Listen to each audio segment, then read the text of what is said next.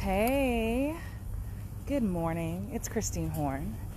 You are watching Actors Daily Bread. This is where I teach you how to crush your auditions, book more work, and live a life that you love. Ah, it's a beautiful day out here in Burbank, California. Just left audition number one of the day, and something was on my mind and I wanted to share with you. Uh, this is episode 190. So if you have never watched an Actors Daily Bread, I want to welcome you.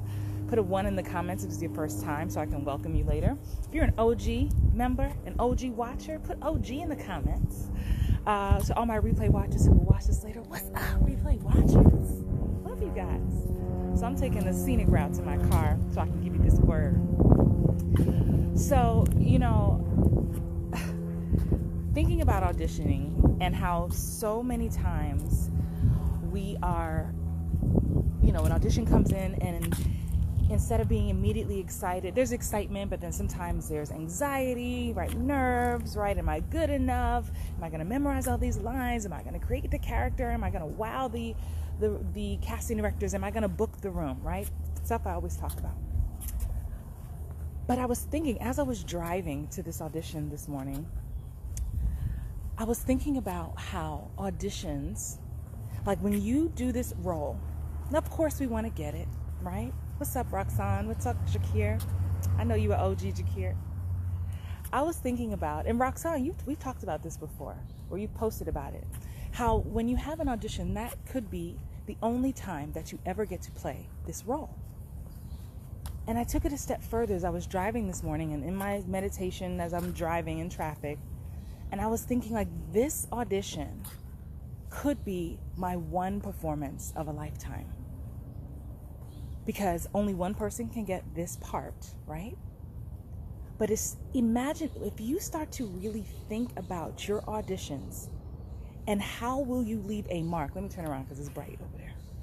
How will you leave a mark, not only in that office, but on yourself and on, on your career if you go down as having this one performance of a lifetime, if this is the only time you really get to try on this role, if this is true, then make it something that is remarkable. Make it something, oh, the lights, let me go back this way. My light is better. Find your light.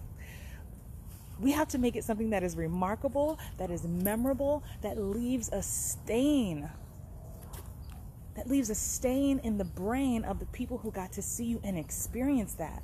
So instead of thinking, man, I had five auditions this week or this month or this year and I didn't book none of them, how about we rephrase that? We change the paradigm to be I got to play six amazing characters. I got to put my stank, my vibe, my energy, my my thought process, my I got to leave a mark on these characters like no one else could possibly do. And that is true because there's only one you right? You're perfectly made. You shut up. You gave it your all, hopefully, right? If you're doing your work. What's up, Orlando? I see you. And that just like sped my spirit this morning. Like, this could be, this is a role of a lifetime, a performance of a lifetime. So it's not about if I get it or not. Like, the odds, that's just how it goes. But it is about that moment. You know, and last night I'm going to be sharing some tips with you because I'm actually in, um, taking a workshop with the casting director here, um, Tiffany Little Canfield with uh, Bernard Telsey Casting. Yes, I am not above taking workshops. when there's an office that does not know me, and I've been like, they, they should, I need to do what I need to do to make sure they get to know me. And so sometimes that may mean that you invest money, coins, dollars into a workshop so that people can meet you. Then I can follow up and do what I do, right? So I'm going to share a bunch of gems because I we had an open Q&A yesterday and I'm not you don't want to be in a class with me cuz while y'all quiet and afraid to raise your hand and ask questions, honey, I got a notebook full because I know I need to bring all these answers to my booking magnets, to my Hollywood bound actors. So I have a lot to share, but one thing she said yesterday Oh, I don't want to misquote her. I remember the last part of it. What was what was the first part of it? I don't want to mess up the quote. I have it written down at home. I'm going to do a whole week of just gems I got from her, but I do not want to misquote her. Um, but anywho, Roxanne says she loves this mindset. Yes, right? If you're just joining, welcome again. This is episode 190.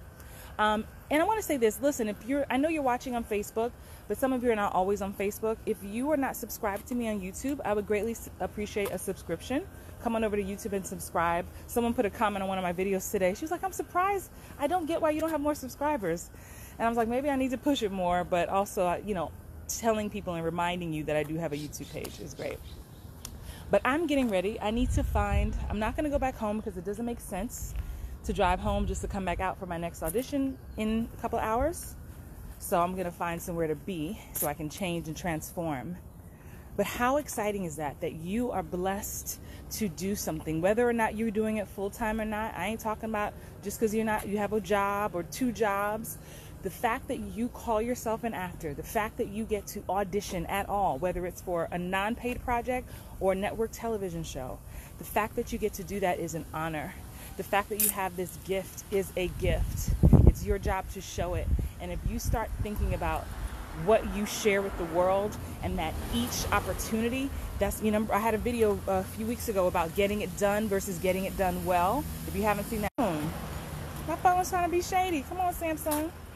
If you didn't watch that watch that so instead of just trying to get an audition done, let me just hurry it up. Oh, it's not that great. Oh, my tech was bad. Oh, my editing was bad. Or I have an audition I didn't really study. If you start thinking that this is could be the one time, the one and only time you get to play this role, so you better put your stank on it and let the world know who you are. Let the world know who you are. Have an amazing day. I'll see y'all later.